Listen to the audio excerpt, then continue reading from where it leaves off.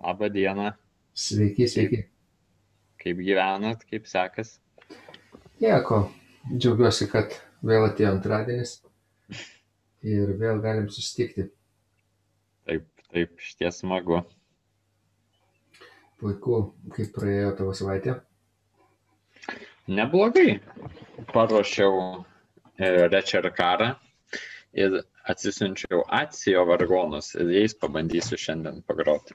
O gerai, kaip tik ir aš jis turiu prieš save juos įdėjęs. Labai geras instrumentas, tikrai.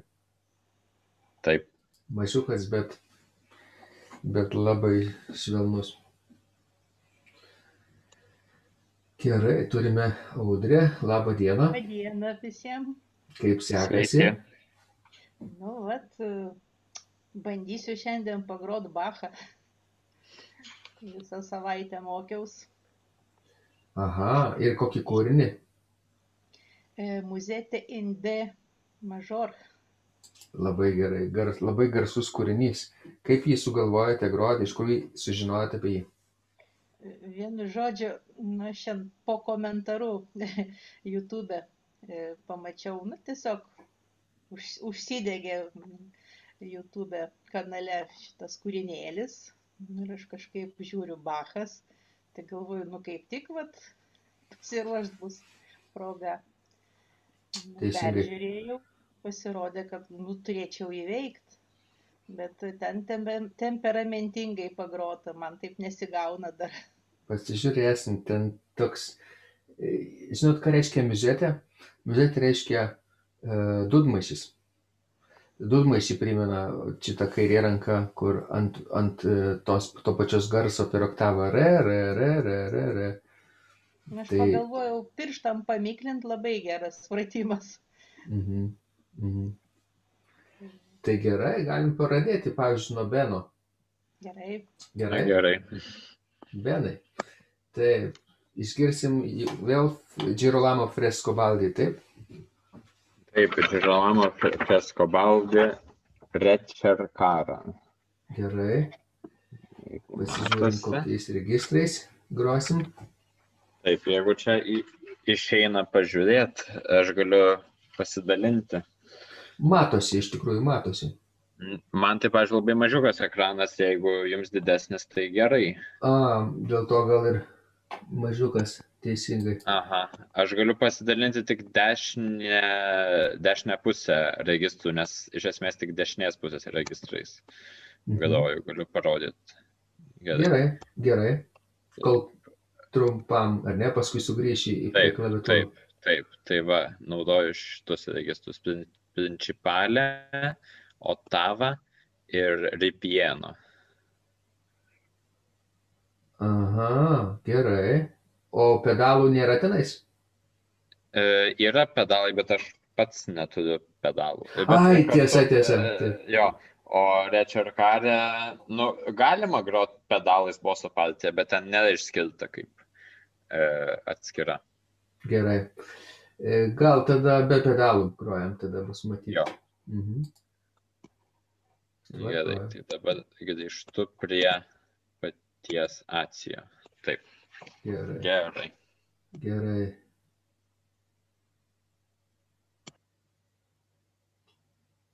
Karolina prisijungia. Labą dieną. Labą dieną. Taip, gerai. Pasikalbėsim tada po to, kai Benas pagros Čerkarą fresko valdžio.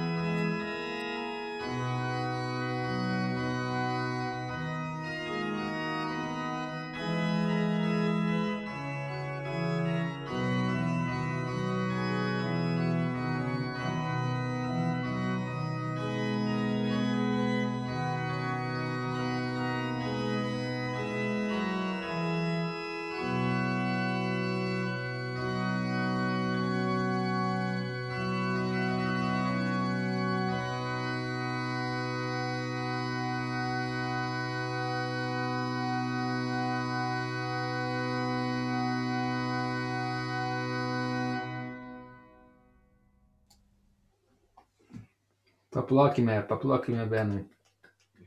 Ačiū. Tai puiku, puiku, visai įdomiai. Tik tais gal kažkur per vidurį truputėlį susviravo pulsas, o šiaip tai buvo labai, labai Nu, išraiškingas Ne tik vaizdas. per vidurį, ne tik per vidurį, bet dar reikėtų padirbėti su juo, bet stengiausi. Kai tu groji, pavyzdžiui, šitą Richard ar pavyksta pastebėti tą pagrindinę temą, tą trumpą poros taktų, man atrodo, atkarpėlę, ar ne?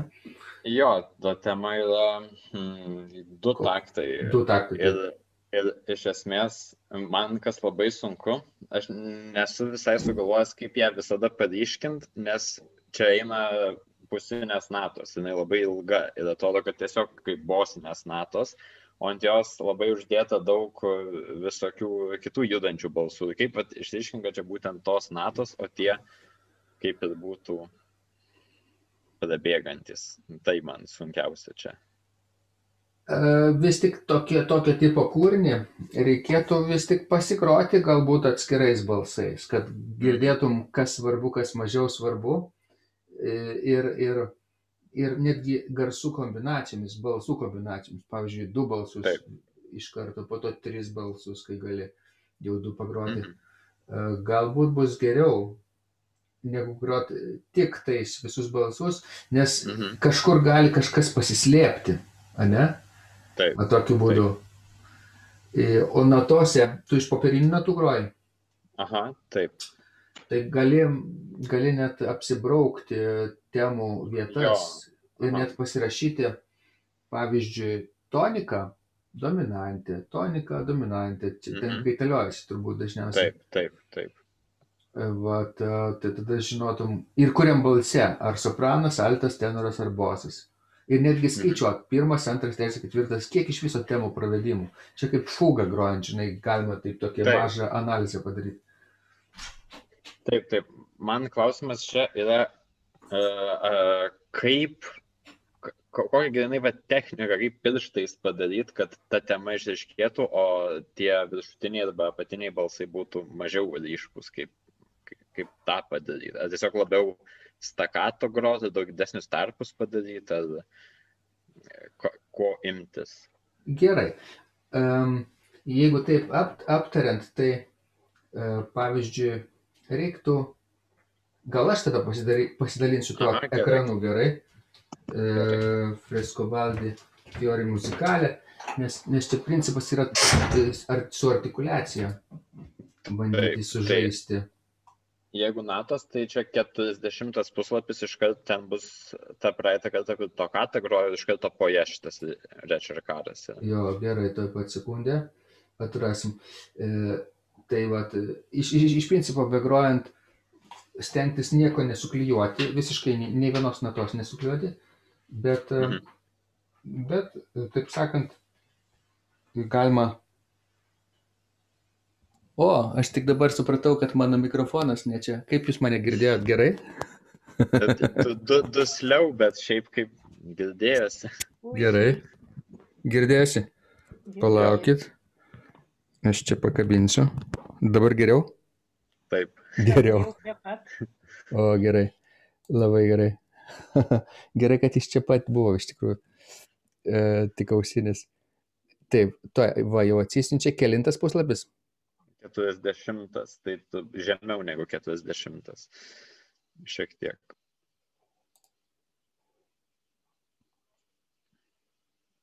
Matau, 41. Mhm. Tai dabar gal aš tada pasidalinsiu ekranu. Gerai. Aš dabar pasidalinsiu ekranu. Ir netgi gal kompiuterio garsu. A, tai tada, ar girdėsite, pavyzdžiui, mano toj fagotą? Girdisi? O, gerai. Taip, tai tada, tai tada toj pademonstruosim. Taip, čia bus, aišku, du puslapiai. Mhm. Gerai. Reiškia taip. Tuo atrasime panašią registruotę.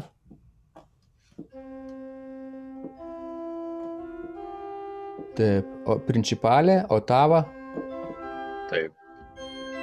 ripieno, nu galbūt kvinta dečima dar. Dvie, dviejų pėdų. Aš dabar esu nebe Acijo vargonuose, o, o Džiubesko. Mhm. Taip, grįžtam atgal. Taip, tai dabar pagrosiu, pavyzdžiui, tik tais pirmą eilutę. Gerai, pažiūrėsim, kas, kas čia gausis. Mano mikrofonas bus toj pat išjungtas.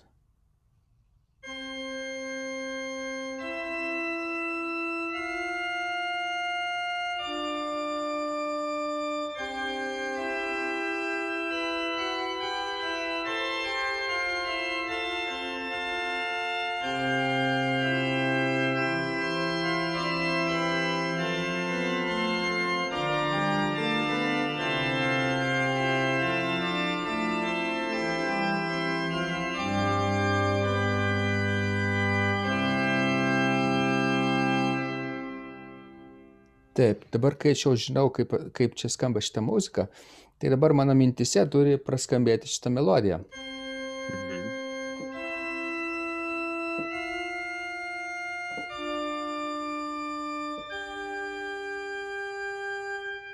E, Gal netgi, gal net ne paskutinė nata ne sol būtų, o do, nes sol būtų jau naujo, naujos temos Mhm.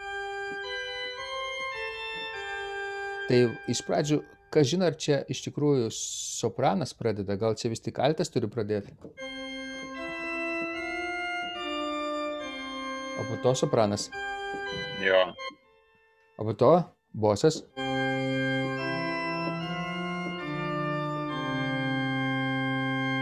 Ar čia gal net ne bosas, o gal tenoras? O gal ir bosas, nes ten buvo vis tiek keturi balsai. Tai va, žodžiu, toks labai sudėtingas polifoninis audinys susidaro. Be, tai taip, čia šiaip paprasta iš tikrųjų pagroti sunkiau negu paaiškinti. Todėl, kad Mhm. e, jeigu ilgos vertės natos, tos sveikosios, tai mes jas ir grojam vienodų, vienodų, vienodų štrich, štrichų. Ir net nelabai eina e, kalba apie tą pulso pajautimą, kažką patrumpinti, nes čia dar nelabai toks tikras barokas, toks ankstyvasis barokas, kai dar pulso tokio šokinio dar čia nesi, nesijaučia. E, viens ir du, ir trys, ir keturi. Ir todėl groti lygiai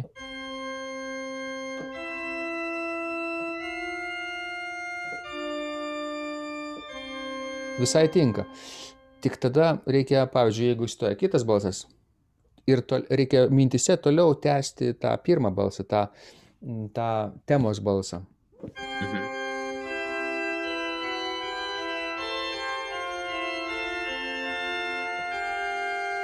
Tarsi būtų e, dviejų balsų mažas, mažas kūrinėlis, o po to prisideda trečias balsas, o po to ketvirtas.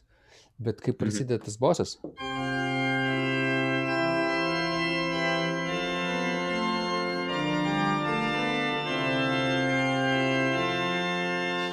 vis tiek tada apatinį balsą, tada dainuoti reikia. Pabandykim taip. Pabandykim e, praktikuotis dainuodami. Iš tikrųjų, tą balsą, kur, kur eina tema, reikia padainuoti. Bet Mhm. savo, savo diapazonį, nei per aukštai, nei per žemai. Pavyzdžiui, jeigu pradžia yra šičia, pirmojo oktavoj, tai aš dainuosiu turbūt mažojo oktavoj, kad nebūtų per, per žemai. Do, mi, fa, re, do. Taip. Mhm. Kas girdėjo mano e, solfedžio pamokas aušra? Matėt, girdėjot? Taip, taip, taip, labai Tai- gerai.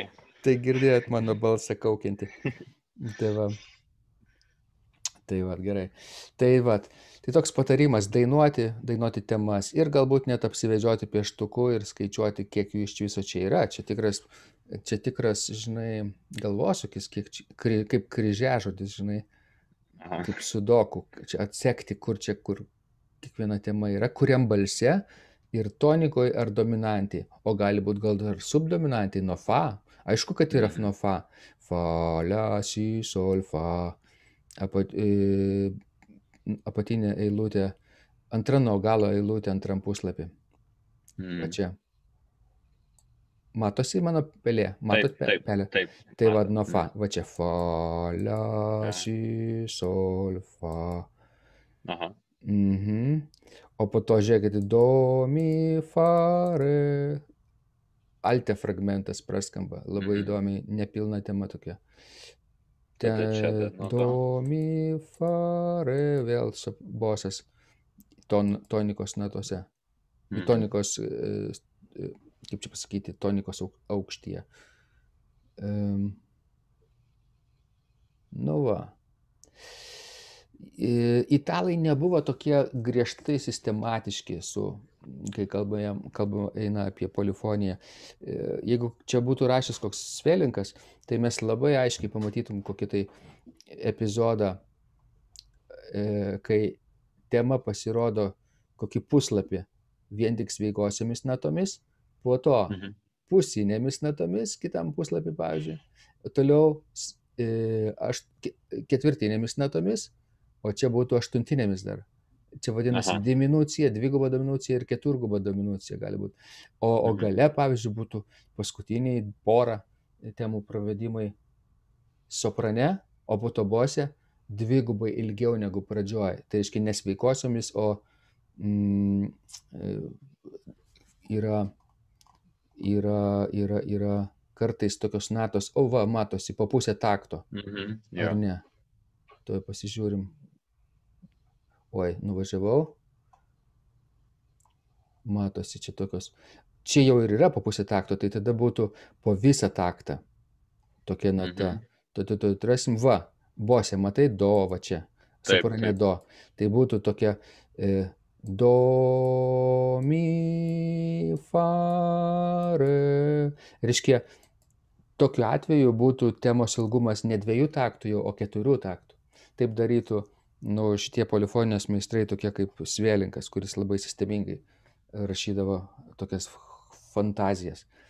Mhm. Mm, O pas Frescobaldi, aišku, gal jis irgi taip rašytų, jeigu turėtų vietos, nes, aišku, čia ribotas biški laiko tarpas buvo, Svėlinko tos Mhm. fantazijos trunka 7-8 minutės, ne du puslapius. O čia vis tiek toks liturginis kūrinys, skirtas groti, uh, skirtas groti vis tiek per mišes, tai neįsiplėtosi per daug, jeigu nėra laiko. Tai vat, a, tai vat, aišku, kad ir, ir Freskobaldis taip mokėjo daryti. Tai vat, dainuoti. Svarbiausias patarimas yra dainuoti. Aišku. Gerai, nori padainuoti? Ai, ne, gal. Jos vienas su savimi. Vienas? Gerai, pabandyk. Kitas labai įdomus pratimas yra iš tikrųjų groti tris balsus, o dainuoti vieną. Negroti to, Mhm. kurį dainuoji, pasirinkti, pavyzdžiui, dainuosi tik bosą, pasirinkti tik, so, tik sopraną, arba tik altą, Mhm. arba tik tenorą. Labai sunku, bet labai labai naudinga. Mm, Na, aišku, pradėti nuo keturbalsių kūrinių yra gal beprotiška, nes čia kaip aukščiausias pilotažas jau. Reikėtų nuo dviejų balsų pratimų pradėti. Vieną dainuoji, kitą groji. Mhm. Paskui, kai jau įpranti, tada trijų balsų pratimą gali pridėti. Du groji, vieną dainuoji. O tik tada jau keturių balsų, vat kaip šitą labai sudėtinga ir čirkara. Bet e, kodėl? Tu jau nesi pirmokas, gali ir, ir tokį pabandyti. Taip. Viska, viskas Pabandysiu. tarsi įveikiama, labai lietam tempe, aišku. Gerai, Mhm. paplojam dar kartą Benui. Gerai. Taip. Kas dabar norėtų toliau pagroti? Audrė? Antra prisijungus buvo taip. Gerai, pabandykim. Miuzetė taip, to, to, to, to. Jūs pasidalinsite ekranu ar ne? Pasidalinsiu. Tai tada, tai tada, tai tada. Aš nustosiu dalintis.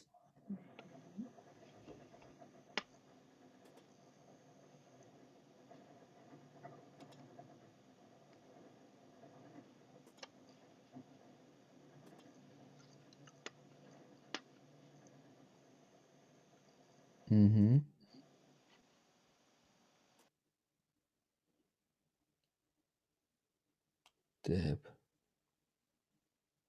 Sėkmės.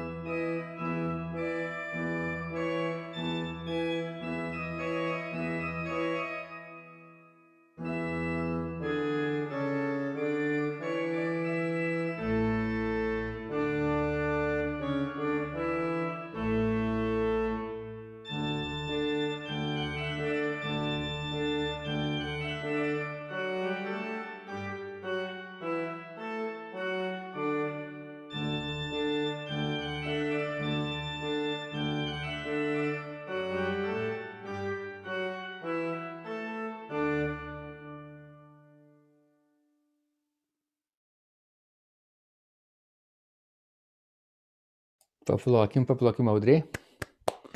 Atrodo viską išgrojau. Taip, viską. Ar čia buvo pabaiga? Taip. O galima pabai- pabaigti taip, kad būtų pabaiga. Tokia labai netikėta gavosi pabaiga. Tarsi mašina važiuoja, važiuoja, važiuoja, važiuoja ir atsitrenkia į sieną. Nes ten kaip tik tos natos ir buvo ket- ketvirtinės. Ketvirtinė nata užsibaigė. Nu, žinoma, e, ketvirtinė, e, kaip pasakyti, ne visada kompozitoriai parašydavo, parašydavo kokį nors pabaigos ženklą. O yra ant tos ketvirtinės natos, pavyzdžiui, fermato ženklas. Ne, nieko. Nieko. E, tai galbūt, galbūt ne visose redakcijose yra, nes aš dabar žiūriu natas prieš save ir, ir matau. Tuoj pasižiūrim. Gal aš pasidalinsiu ekranyčių. Ekranyčių. Tuoj. Tuoj. Va. Va. Matot, kokie aš natas turiu? Fa, sol, la, sol, fa, mi, la, re. Va čia, kur žodis fine, tai yra pabaiga su fermata. Ir galbūt reikėtų truputį netgi sulėtinti paskutinį taktą. Mi, la, re, tas tris natas. Pabandom tai padaryti. Aš ats, atsi... Nes aš čia.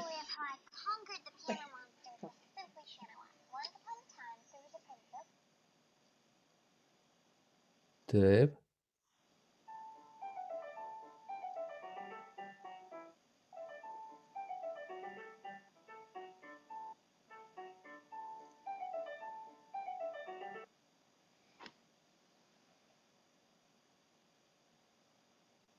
Aha.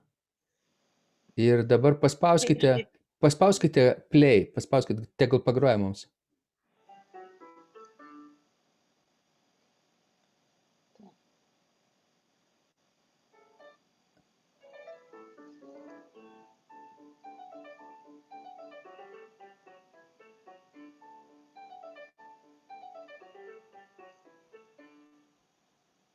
Supratau. Ir kasgi čia groja? Nepasirašo? Tuoj, mačiau iš to džiaugsmo, net nepažiūrėjau. Nes YouTube'as pilnas, matot, milijonų tų įrašų ir ne visi bus, nu kaip, vienodi. Ar ne? Nu Jo, Tai va, e, aš dabar gal pasidalinsiu ekranu ir parodysiu, kaip, ką norėjau pasakyti. Gerai? Taip. Ar girdisi? taip. Girdisi. Gerai, aš truputį išsijungiu mikrofoną ir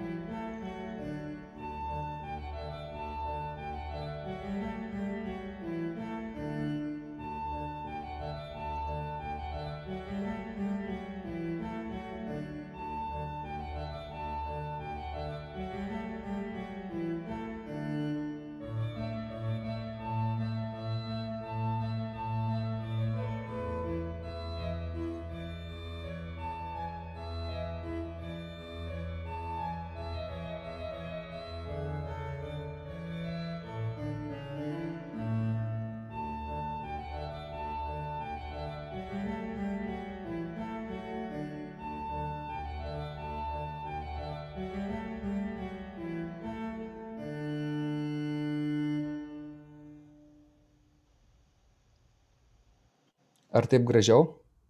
Gražiau. Gražiau. Toks šiek tiek sulėtinimas ties trim natom ir tada pailginimas paskutinės natos. Pabandykite jūs gal ką. Aš dabar at- atjungiu savo. Nuo pradžių grot.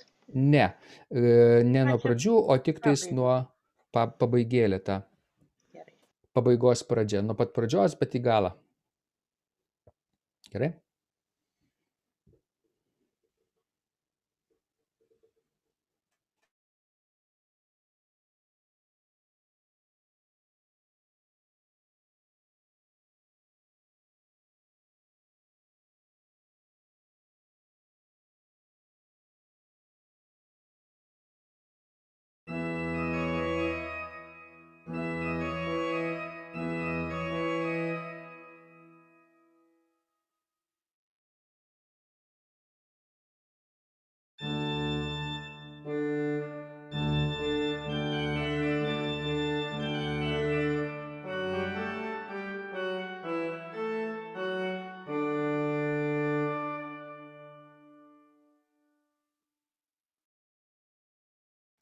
Ten buvo trys paskutinės natos. Mi, la, re, o jūs grojat mi, la, fa, re.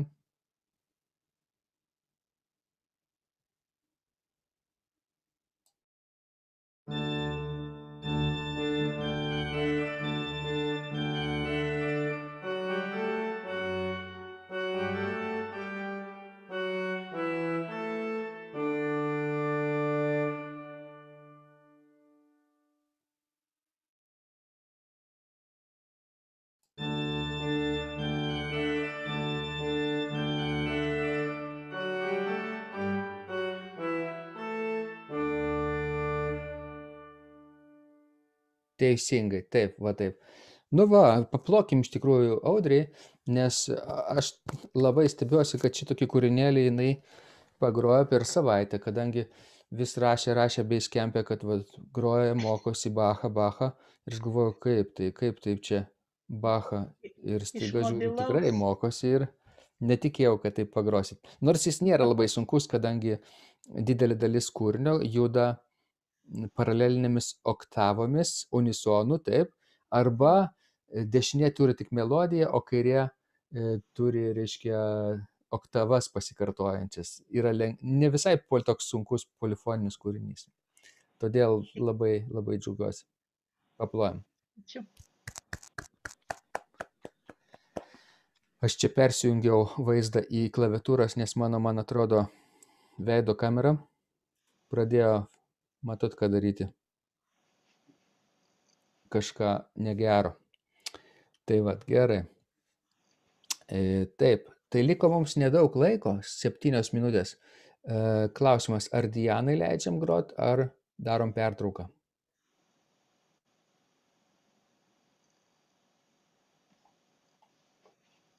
Galim pertraukėlę daryti gal? Nebent dieną prieštarauja. Na, aš tai neprieštarauju. Gerai, padarom pertrauką ir po pertraukos pa- pagrosim su Diana ir, ir Karolina. Nors Karolina prisijungia pirmoji, tai, tai nuo Karolinos pradėsim, ar ne? O gal Karolina norėtume pirmą, pirmą groti e, ir dar ir dabar? Ar tavo kūrinys ilgiau truks? Esmė, dabar pagroti. Aš galiu, nes. Gali taip? Gerai, pa- pabandom tada dar Karolina ir liks Diana po pertraukos. Tai grosiu Bacho invenciją 7, tą pačią. Mhm.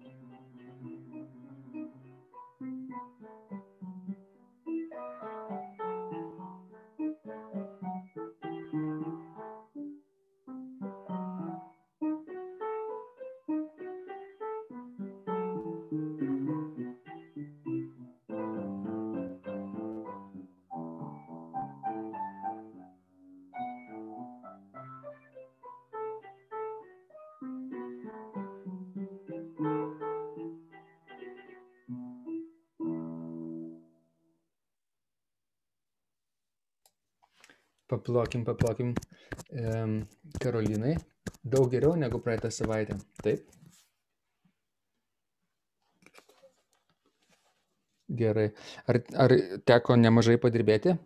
Ar jau tiesiog išeina?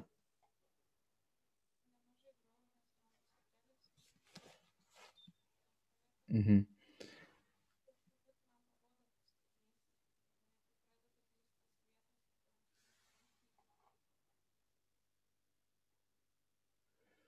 Puiku. Tai dabar taip. Ar visi girdite Karoliną, ar, ar aš, aš kažkaip negirdžiu? Mm, Aš negirdžiu, kažkaip jo Karolinos. Nelabai girdėjęs. Tai aš irgi negirdėjau nieko. Kaip ten su mikrofonu? Nesigirdi dabar. Bet kai grojo, tai buvo gerai.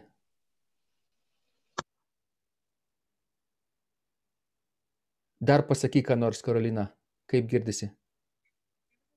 Nesigirdi dabar, ne? Gerai, tai gal tada taip.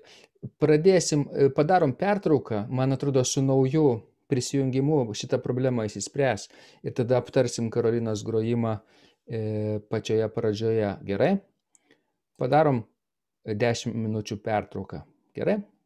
Iki. Gerai. Iki.